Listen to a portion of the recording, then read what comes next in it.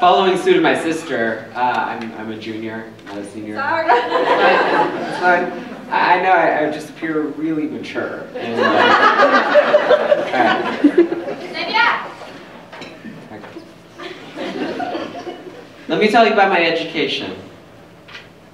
Well, there's a lot I can say about it, but one thing that we need to know is I have to find my phone.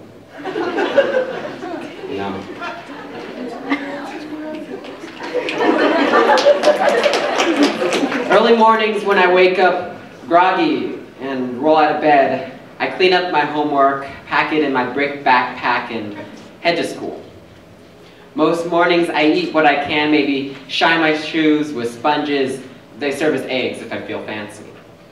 I've gone to many schools, but some of the most vivid things that I've learned is how it feels when there's nothing to be taught. It's those angry teachers who know better, you know, the ones who strike you down with a belt if they could. I got in trouble for reading in class, and yeah, maybe it wasn't the right time. Uh, but I did learn more from those pages than I ever did from standardized test teachers who taught nothing. I was writing stories after a time of hating to write and failing literature because the grammar that I read hours a day, it didn't make sense. Not knowing the difference between adjectives and verbs and nouns.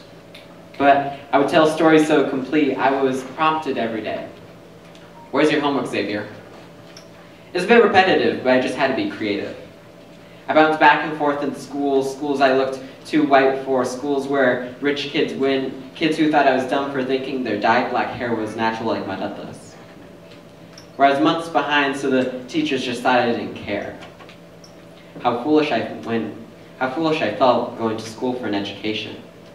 Kids with A's not knowing what the solar system was when I had my head in the stars.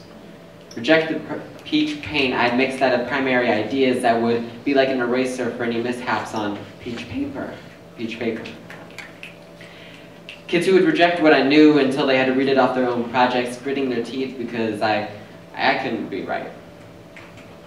And as you move place to place, you see different sorts of demons of schools. Being homeschooled for, with a friend for a year was fine until I couldn't take another moment of their angry grandma, having to dumb down papers because she didn't understand what was being said. Maybe, maybe a standard's a little too high. I mean, only 30% of the students in most classes are failing here and there, and 70% are driving by. That's a passionless grade, bubbles filled with no creation made, but my standard lies not in hopes and lies, it's in the hands of teachers who despite the tiny pay did what they could to lead the way. And that pay doesn't cover work days, because they don't just work days, they plan in the night like some sort of shadowy superhero. Sipping coffee in the morning because they slept less than the students sometimes, and teachers who turned the bad class into the best class because it was the teacher who steers the ship. Turning F's into 3,000 words a day, stories no one would ever hear otherwise. Inspire them when school's only draining. These teachers have dialogues. You know. Assume as little as they can because they'll never find out who I am, who we are as students in Tucson, as creators and leaders, as kids, just looking for life to own when we don't own our own, when it's a house, not a home. Putting student council into the student board for voices who know both sides. Even in school, there's survival of the fittest, but a team can surpass one person, and that's why there's cliques. And this should click, we need a dialogue. But that's hard to schedule when teachers work two jobs, teacher and tutor, teacher and substitute, teacher and waiter. Busy days get, just get busier just to survive.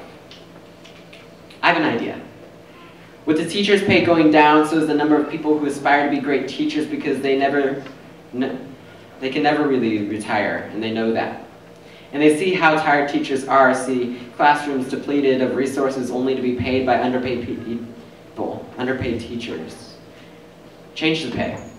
more than $3 over the living wage, nourish school so students can succeed, so they can exceed past was determined their past, regardless of their class, teachers deserve respect. They lead the future, and those who can, teach. Woo!